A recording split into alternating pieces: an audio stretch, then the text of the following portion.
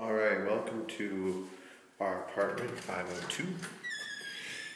Uh, we are renting this condo out.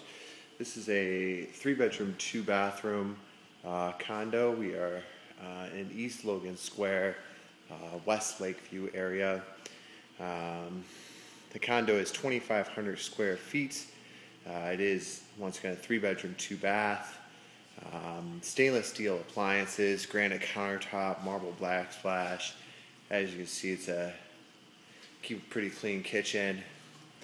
Uh, the space is pretty big. Um, like I said, about 2,500 square feet.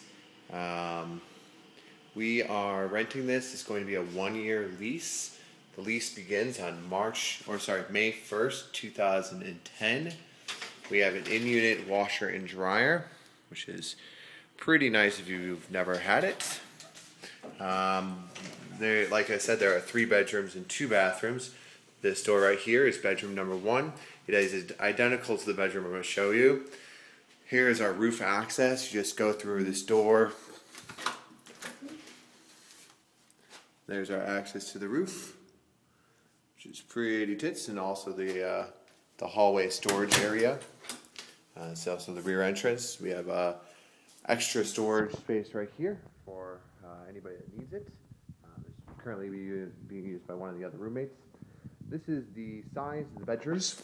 Um, I currently have a queen bed. Um, my dresser is about uh, six feet long, so it's pretty big room. Uh, closets are also pretty large. Um, I've made the most of my storage. Um, yeah, could be walk-in if I didn't have all my clothes in it. Um, let's go on to the bathroom here. This is the uh, shared bath. Um, it's pretty big. Stand-in shower, nothing fancy. Uh, just marble or uh, travertine backsplash. Um, like I said, the uh, the lease begins on uh, May first, two thousand ten. Uh, we are uh, showing it currently for the right people. We could definitely let someone move their things in in April, uh, but the current roommates have outstanding leases until then. Uh, lease once again, one entire year. I'm open to alternate leasing options, but really uh, that's the one I, would prefer the most.